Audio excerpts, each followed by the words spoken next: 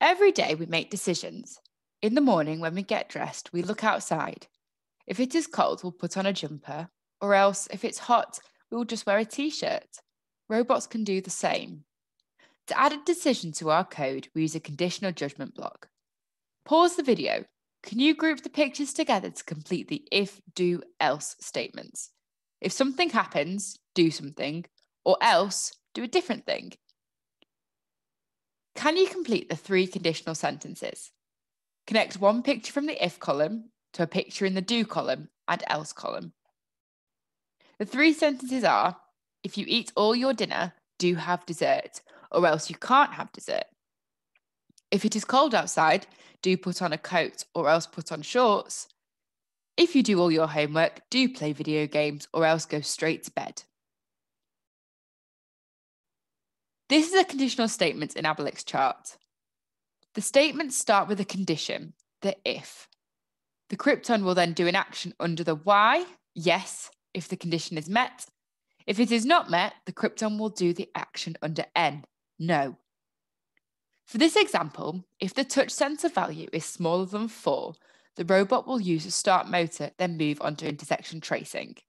If the touch sensor value is bigger than 4, the robot will turn, then move on to intersection tracing. Using the different sensors for Krypton, grayscale, colour and ultrasonic, find the values to fill in the table. You may have filled this in during the sensor experiment. Do you still have your values? When coding your robot to stop on a colour or at a certain distance, you may want to use a loop conditional judgment block.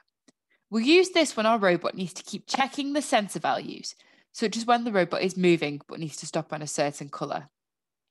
The robot will keep checking if the condition has been met. To set up this part of the code, you first need a sensor block. It should be of the sensor you are using. This can be found in the Sensor tab. Then add the loop judgment block from commands. The sensor, the correct sign, less than, more than, or equals, and the value for the colour or distance you want the robot to do something at, such as stop. To make the robot stop on a colour, such as red, let's say the value for red is 3300 on a grayscale sensor. In the conditional judgment block, we choose grayscale variable. When this is less than 3300 red, under the yes line of the block, this is where the conditional statement is true. If the grayscale sensor is on a colour with a value less than 3300, we use a start motor block to keep moving forward as the robot is not on red. Under the no line, this is where the conditional statement is false. In this case, if the grayscale sensor is on a colour with a value higher than 3300, the robot will stop. So we use a stop block or a start motor block with a speed of zero.